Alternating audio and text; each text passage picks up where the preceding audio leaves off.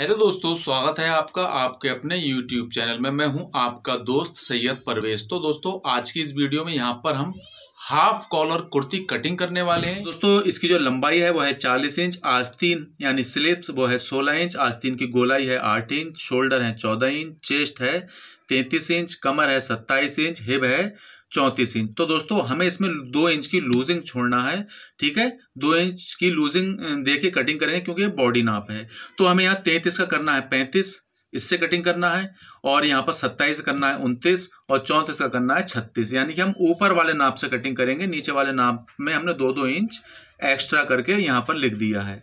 तो दोस्तों, यहाँ पर जो लंबाई है, हमारी लंबाई है चालीस इंच तो हम यहाँ पर लगाएँगे एक ढाई इंच का निशान।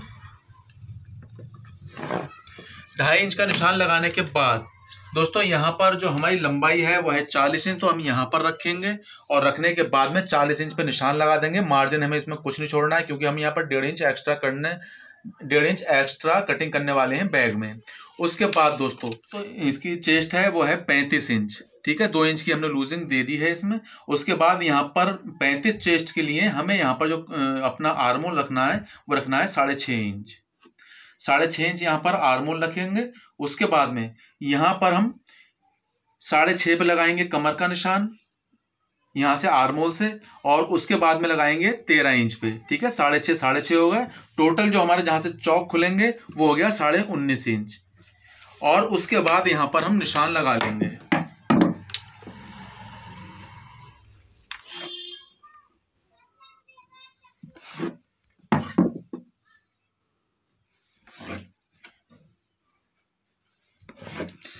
निशान लगाने के बाद, अब दोस्तों हमारा यहाँ पर जो शोल्डर है, वो है चौदह इंच। तो हम एक आधा आधा आधा इंच का देंगे दोनों साइड में मार्जिन तो दोस्तों यहाँ पर होता है चौदह का पंद्रह पंद्रह का हाफ़ कर लिया, साढ़े सात इंच पे निशान लगा लिया है।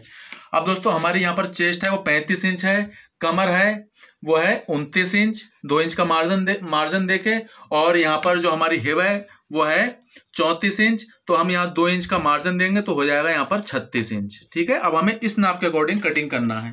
तो दोस्तों, मैं पैंतीस का फोर भाग कर लेंगे। होता है दोस्तों, यहाँ पर पौने नौ इंच और यहाँ पर हम कमर का चौथाई कर लेंगे। तो दोस्तों, यहाँ पर कमर है, वो है हमारी उनतीस इंच तो उनतीस का फोर भाग कर लेंगे। दोस्तों, होता है सवा सात इंच, ठीक है? अब हमारी यहाँ पर जो हिब है, वो है छत्तीस इंच तो छत्तीस का फोर भाग कर लेंगे। दोस्तों, होता है नौ इंच। अब हम यहाँ पर निशान लगा लेंगे। यहाँ पर इस तरीके से स्केल को रखेंगे। स्केल को रखने के बाद में यहाँ पर एक निशान लगाएँगे। दूसरा, यहाँ पर हिप पे निशान लगाएँगे। तो दोस्तों, हमारे यहाँ कमर पर निशान लग चुके हैं। अब दोस्तों, हमारा यहाँ पर जो दामन है, यानी कि पल्लू है, ठीक है? पल्लू को किस हिसाब से रखना है? तो दोस्तों, हमें पल्लू को रखना है हिप के हिसाब से। तो हमारी हिप है छत्तीस इंच, ठीक है? तो हमें यहाँ पर एक इंच बढ़ा के रखना होगा। तो हम यहाँ पर रखेंगे हमारा यहाँ नौ इंच है, फोर बाग का, ठीक है, हिप पे तो हमें यहाँ पर रखना है साढ़े नौ इंच पे। और यहाँ पर डेढ़ इंच का देंगे मार्जिन। उसके बाद में यहाँ पर एक निशान लगा लेते हैं इस प्रकार। अब साढ़े नौ का यहाँ पर डबल कितना हो गया? उन्नीस इंच, यानी पल्लू जो हमारा रहेगा वो उन्नीस इंच रहेगा। उसके बाद में हम यहाँ पर लगाते हैं एक निशान सिलाई मार्जिन। जो मार्जिन अंदर रहता है वो दो इंच का लगाएँगे, यहाँ पर भी दो इंच का लगाएँगे, ठीक है? और यहाँ पर लगाएँगे सवा इंच का। और यहाँ पर भी निशान लगा लेते हैं। और इसको बिल्कुल सीधा कर लेंगे। उसके बाद में दोस्तों, अब हमें यहाँ पर लगाना है निशान। हमें आधा इंच अपने टीक को डाउन करना है तो इस तरीके से रखेंगे। और रखने के बाद यहाँ पर हम क्रास कर लेंगे और इसको भी हम निशान लगा देते हैं। दोस्तों, मैं इसकी दूरी भी आपको बता देता हूँ। वैसे मैं नापता नहीं हूँ क्योंकि स्केल से अपने आप ऑटोमेटिक यहाँ पर आ जाता है। तो दोस्तों, मैंने यहाँ पर लिया है ढाई इंच अब दोस्तों, मैं इसको कटिंग कर लेता हूँ।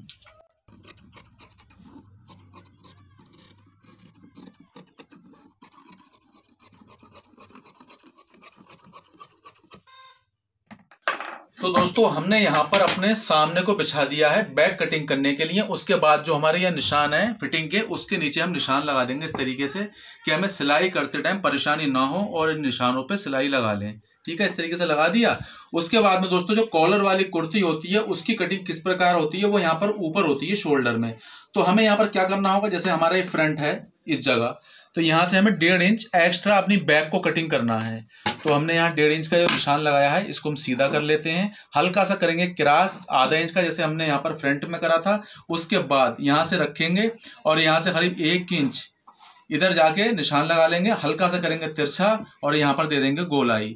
अब दोस्तों बात करें इसकी यहाँ बैक की कटिंग की। तो दोस्तों जहाँ से हमने इसे एक्स्ट्रा रखा है, दोस्तों यहाँ से ही इसे कटिंग करना है, कम से कम ढाई इंच लंबा। ये ढाई इंच लंबा हमने यहाँ कट निशान लगा दिया है। अब इस पर ही हम कटिंग कर लेते हैं।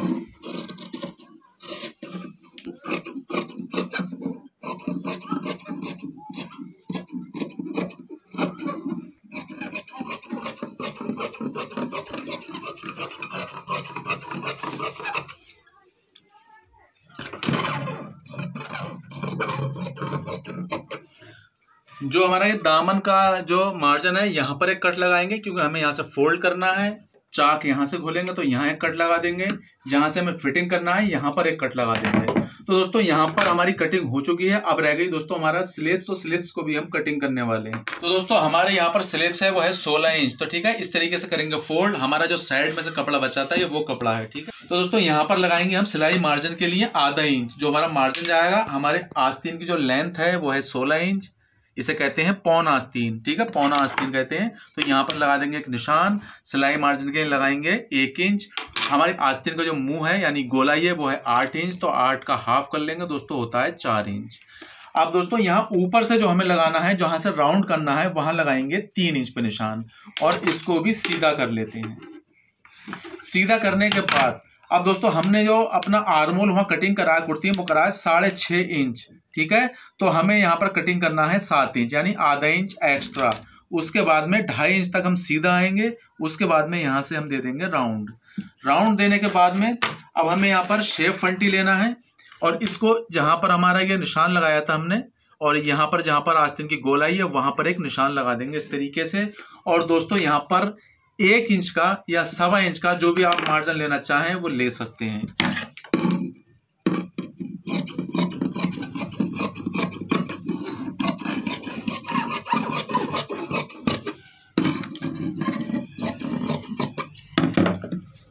यहाँ पर लगाएँगे एक कट यहाँ पर एक कट लगाएँगे, उसके बाद आस्तीन को करेंगे यहाँ पर इस तरीके से ओपन ठीक है? और यहाँ से, जहाँ से हम आए थे जहाँ से हमने राउंड लिया था ढाई इंच आगे जाके तो वहाँ से हमें इसको क्रॉस करना है हल्का सा अंदर को, करीब पौन इंच और इसको भी कटिंग करना होगा, क्योंकि ये सामने में चढ़ती है। और यहाँ पर लगा देंगे कट हल्का सा, बहुत बारीक सा कट लगाना है। तो दोस्तों, यहाँ पर हमारी कटिंग हो चुकी है कंप्लीट तो दोस्तों, इसके बाद जो मैं वीडियो अपलोड करूँगा, वो करूँगा कालर चढ़ाने की और कालर कटिंग करने की, ठीक है? आपको यहाँ पूरा दिखाऊँगा। तो दोस्तों, अगर आप हमारे चैनल पर पहली बार आए तो प्लीज़ चैनल को सब्सक्राइब करें। वीडियो अच्छी लगे तो उसे लाइक और शेयर करना ना भूलें। चलिए दोस्तों, मिलते हैं आपसे नेक्स्ट वीडियो में। Thanks for watching